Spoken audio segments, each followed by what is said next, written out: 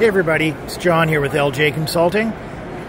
Quick glimpse of KLO, KLO Outerwear, a line we're proud to represent out of Montreal.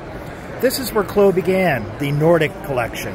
So the high-end outerwear that takes us into, you know, minus 30, minus 35, minus 25 degree temperatures. This is a new jacket called the Merit.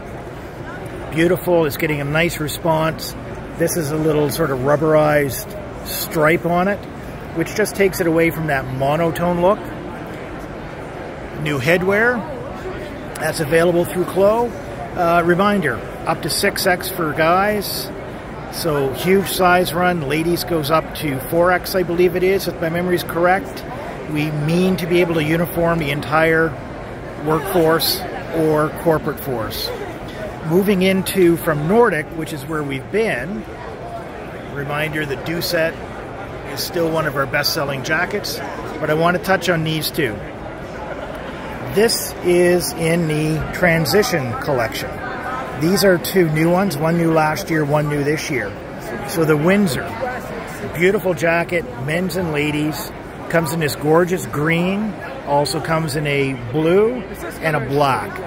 Uh, it's lightweight, it's meant to be in around, you know, the minus five type range.